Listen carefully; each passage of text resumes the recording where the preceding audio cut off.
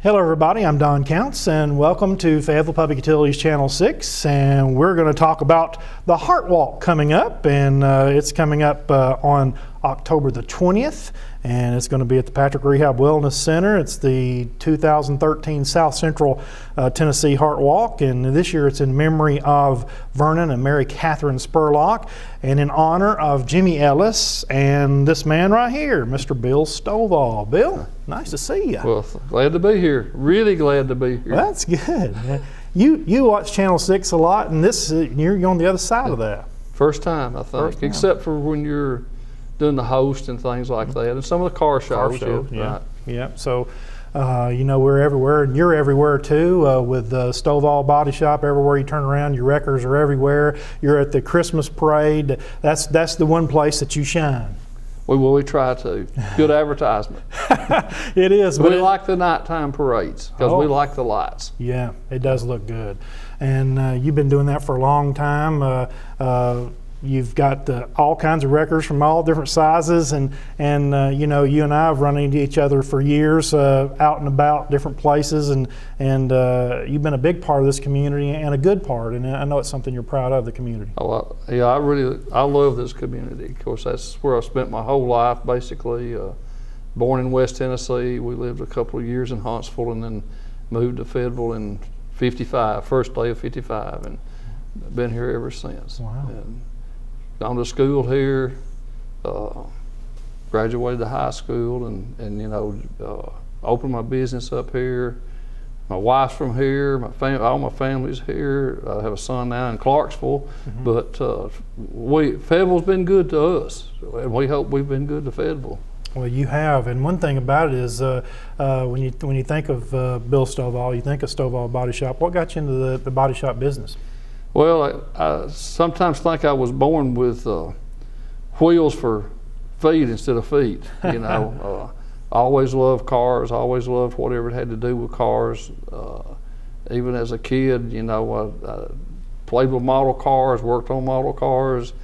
I always enjoyed taking something apart so I could see how it worked. I didn't always get it put back together, but uh, just enjoyed that. And uh, I went to uh, a couple of years of college at uh, Tennessee Tech, and and then I, as I tell people, I said then I fell in love, got married, and and then go back to school. And I had worked for Robert Richardson at Richardson Body Shop, and uh, the opportunity came up that he was going to Lewisburg to run his his brother's shop, and uh, had an opportunity to buy it. And uh, my dad and I went to the bank, and the bank offered to uh, loan me the money to go back to college and graduate college.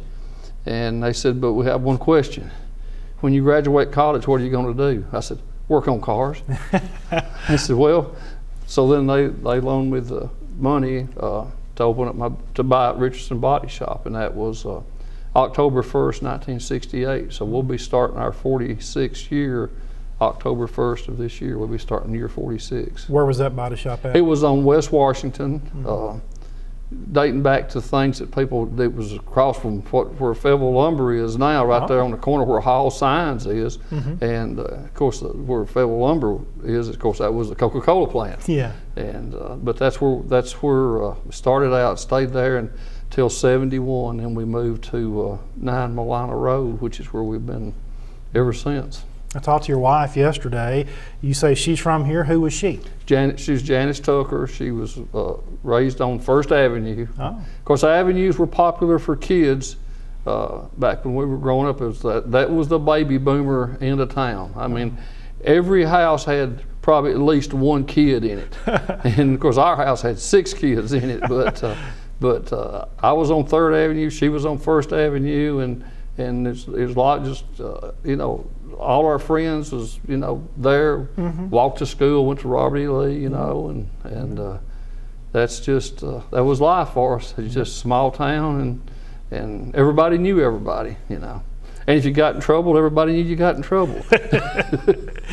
you got married, had some kids. Tell about your kids. got to, got two, two. They're not kids. Any, well, they're still our kids. Uh, Daryl is the oldest. He was born in uh, '67, and uh, and uh, Jeff was born in '71. Uh, Jeff is a minister in Clarksville. And of course, Daryl and his family live here. Uh, have two kids, grown kids, 15, 16 and 15 They grow up fast. grow up fast, and then of course uh, Jeff is uh, married and has two kids, and like I said, they live in Clarksville, and uh, that's uh, and, basically all of my family is is from around here. Yeah, know. that's good. yeah.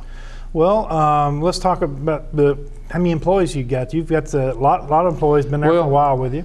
Yeah, we run uh, we run an average of probably nine or ten employees. Wow. Yeah. At one time we had probably eighteen or nineteen, and and me and the good Lord had a little talk. I said, if you'll get me out of this mess, I won't have that many employees again.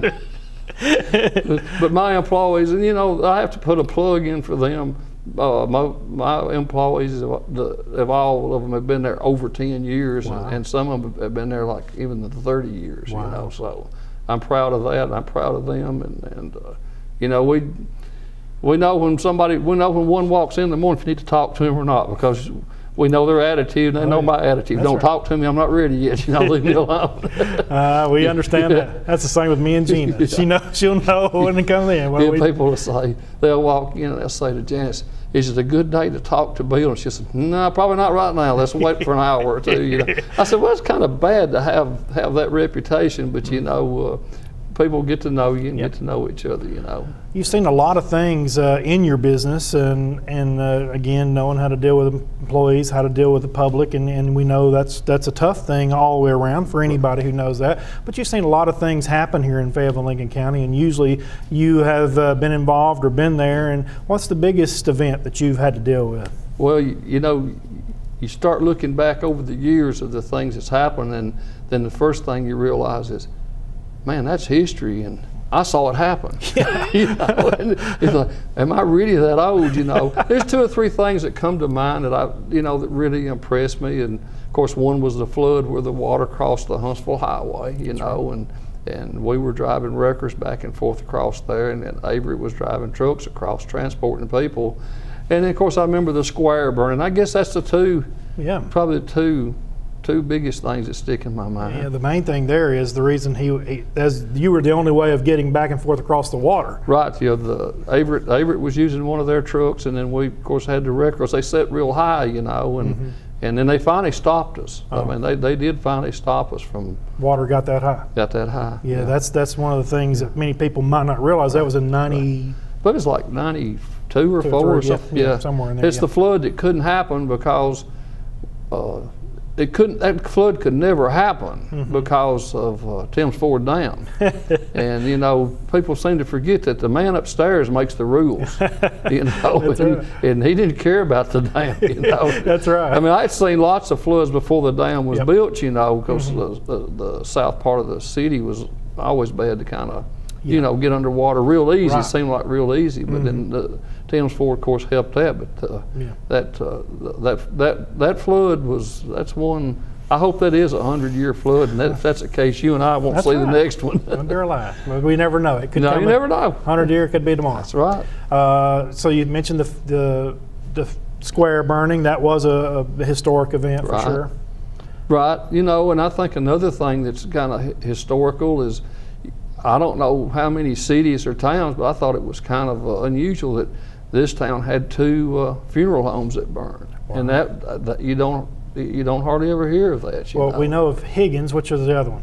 a gallant. Gallant. This one Yeah, up here right. burned. Mhm, Wow. I, sure I did. didn't remember, didn't remember that one. Wow, man, am I that much older than you? I don't know. I mean, No, I think you just let that slip I by. But I mean, Yeah. you know, uh, of course, the, the Robert E. Lee School being torn down, you know, that was where I went to school. You know, Mm-hmm. you, you you remember, you know, lots of memories there. Uh, Yeah. uh, paddlings and uh, I you know those things you do remember. do remember that. That's for I don't sure. know if they know anything about paddlings today in school, but we did then. Oh, yeah. and uh, you know, like the uh, uh, Huntsville Highway w- was just a highway. You know, uh, two lane road. Was it two lane when you when you went into business? It was two. Uh, when I went in business, on Molino Road. You know, I don't remember. I know, I don't I don't remember. remember for sure. I, I can remember when we just had the first bypass built. You know, we just had one one side of the bypass, Mm-hmm. Oh, yeah. and then got the other other side. And the old bridge, you know, with the the river bridge, it's the four lane bridge, or actually five lanes, we turn lane, but Mm-hmm. Yeah. you remember the old, the old steel bridge, just like the one they just tore down at Kelso a Oh, few yeah. years ago. And, uh, And the and of course the old Stone Bridge. A lot yeah, of people I- viewing or I remember. it. walked across the old stone bridge. Wow. Walked across those stones. Not supposed to. Mm. That's probably why I did it. But you know, matter of fact, I think, matter of fact, I, I don't. I think I rode a bicycle across it. But Mm. you know, you you got you got your buddies that dare you, and then of course you, you you do that. You know. Oh yeah. That's a beautiful structure. That it's a shame that it that, It is a that it got down. But but yeah, I, re- of course I remember that. I remember the old courthouse Oh yeah. you know. And uh, of course, I attend the Cumberland Presbyterian Church, and the church that we first had was right across from uh, the Patrick Doctor's Clinic. It's- Okay. It's a parking lot now. Sure, sure. I didn't And know it- that. Yeah, and of course, they, they tore the courthouse down, and they used, we had already moved to our new church on uh, uh, Lewisburg Highway, Mm-hmm. and they used that church for a, uh, for a courthouse. Wow. Yeah, so I got to go to church there, but I also got to go to traffic court there one day too. So I remember.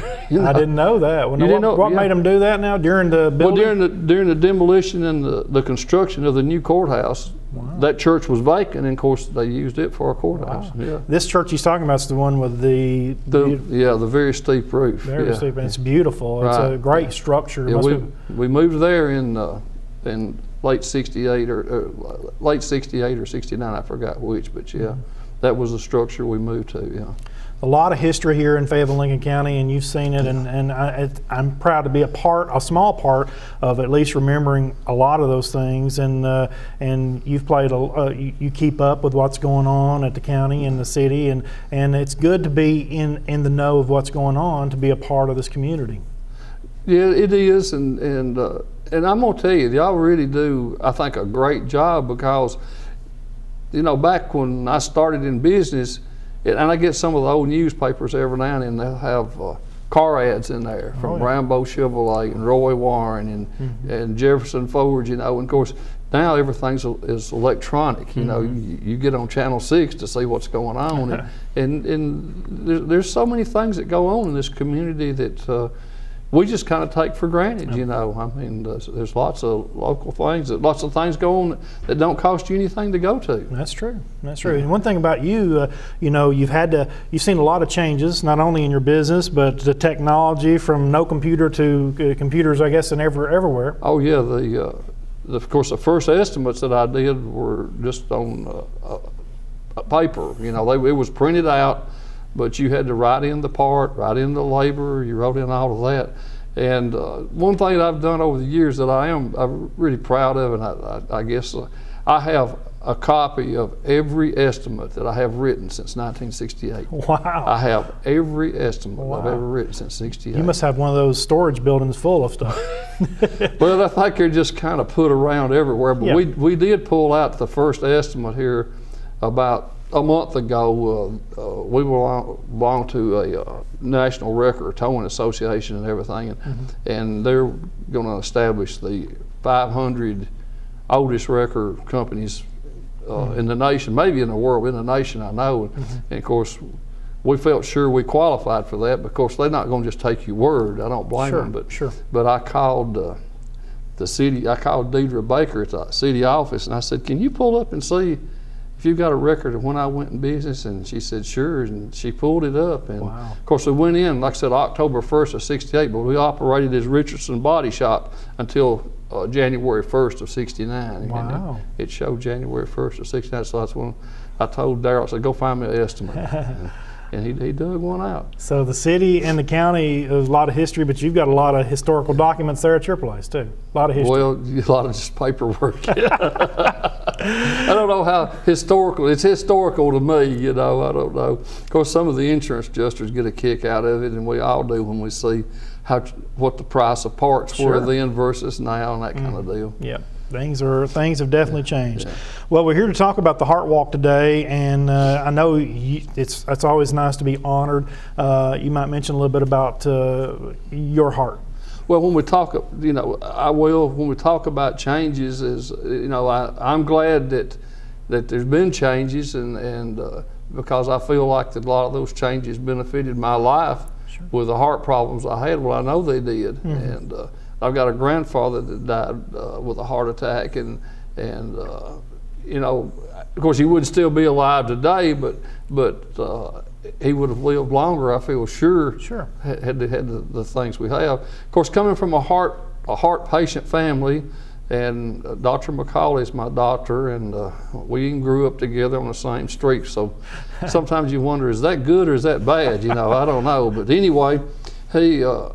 Early, I, I've always gotten a physical. I'm real picky about getting physicals, even from the time I was probably 25, 30 years old. And then as I got on up to about 40, 45, he and I got concerned about my heart because I'm, a, I'm from a heart patient family, you know, and uh, never did see anything wrong. Everything was fine, you know, and it rocked on there. And, and when I was probably, I think it's when I was 50, uh, I was having problems and everything showed up fine, no problem. You don't have a problem. I thought, well, yeah, I got a problem, you know.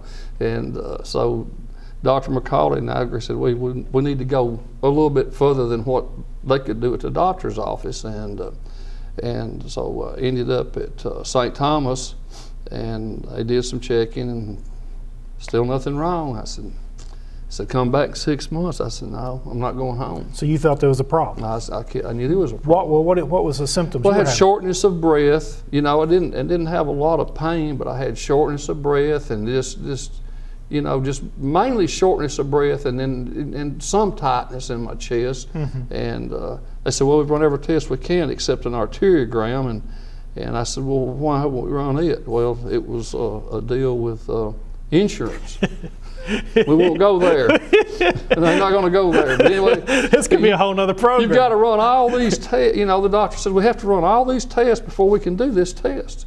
And so they ran an arteriogram, and this old body that had nothing wrong with it had to have two stents and a balloon. Wow. You know, so I thought, you know, hey, what's going on here? Mm-hmm. So it, it worked out fine. You know, they did that, and then and he said, I came back the next year, and well, you're, doing fine. You're doing fine. I said, we'll check you. Know, and and he said, but at the end of four or five years, he said, your problem does not show up with EKGs and, and tr- stress tests. He said, it, it just doesn't show up like most people do, but we've got something to go by.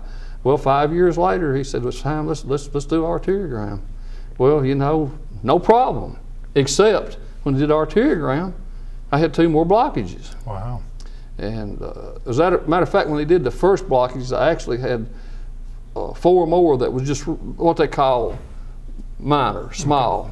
And I always t- I told the doctor, I said, "Well, that's minor and small to you. It's not your heart." you know, I said, "I'm concerned." Sure. So they, uh, as a matter of fact, they, I, I take that back. They found one blockage, and so they went in to do arteriogram.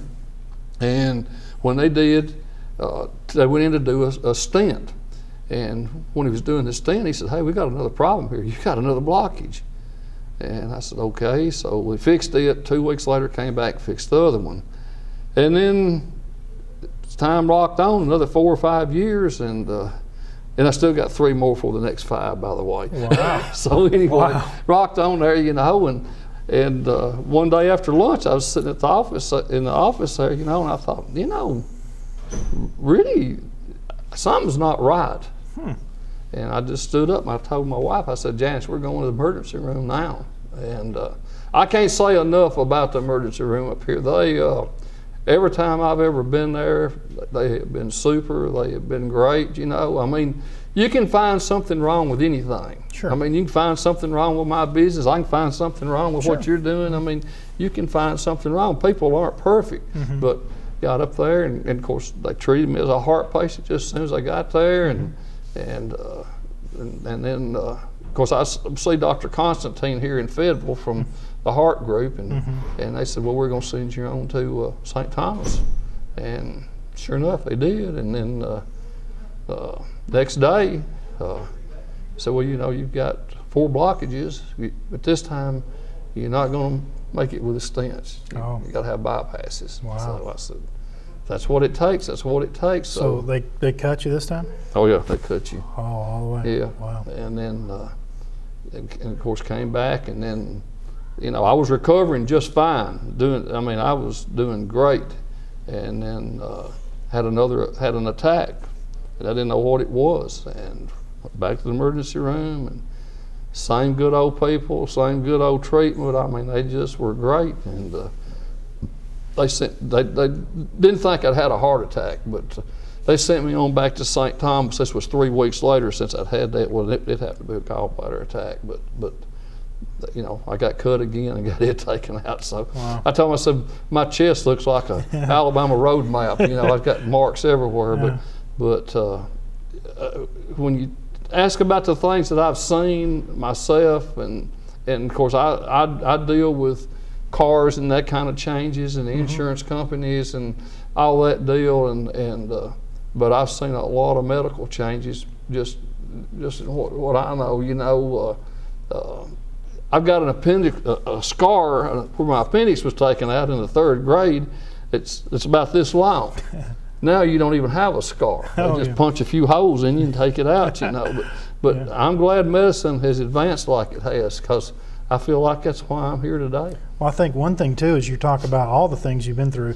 Some of the key things is of, of acting. You know, some people have a little shortness of breath, or some people have, have a little tightness in their chest and not do anything about it. But you was proactive enough to, to go to the hospital and get it checked. I, I've, you know, I had rather, I, I'd rather go to the hospital and then come out and say, well, you were wrong, and somebody say, well, you just go to the hospital too much or the doctor too much, and me be wrong as to Sure. because uh, Dr. McCauley has always said, you know, and, and Dr. Norwood before him was my doctor, and, and he said, if you'll listen to your body, you know, it'll take care of you, Wow, you know, and, and you got to do that, you that's know. some that's some good advice. I mean, if you're hurting, there's a reason you're hurting, Mhm. you know. And uh, so, I feel like I've had three good, three good uh, chances that I got taken care of, you know, with with modern medicine. It's And amazing. and every time the doctor would say, so, you know, uh, you, you do what you can, and then uh, as medicine progresses, you know, uh, said one of these days they may they may be able to do something besides a bypass, you know, something That's like true. that. Well, it's amazing, uh, and that's why that the Heart Association is honoring you for uh, uh, at the Heart Walk coming up on October the 20th, and uh, I'm sure we'll see you there. I'm sure people will hear your story more, and I'm sure if most people see you, they're you, you're usually in an orange shirt. Yeah, my wife wouldn't let me wear it today. she said, "You go home and put on something besides your orange shirt and a cap." I said, "Well, nobody will know who I am." God will have to tell everybody who he's talking to. Bill Stovall. Just pretend that's an orange shirt. Yeah, yeah. Well, thank you for your story. Thank you for your service to our community, and thank you for being around. Uh, and we're, we're, we're honored that you're going to be here for the Heart Walk. Well, thank you. I mean, it- I thank the world of the health facilities out there, and I thank the world of and Lincoln County. Thank you. Well, we're, we're I- lucky. the job y'all do is great. Thank I you. really, you know. Thank you. We got a good community, and uh, we do have a good hospital. And uh, and again, we appreciate everything that you've done for us, and uh, looking forward to many more years of being together. I hope so. That's right. I hope All so. right. All right. Well, uh, don't forget about the Heart Walk coming up on October the 20th, honoring uh, Bill Stovall here, Jimmy Ellis, and in memory of Vernon and Mary Catherine Spurlock. Thank you for watching here on Fayetteville Public Utilities Channel 6. I'm Don Counts, and we'll see you next time.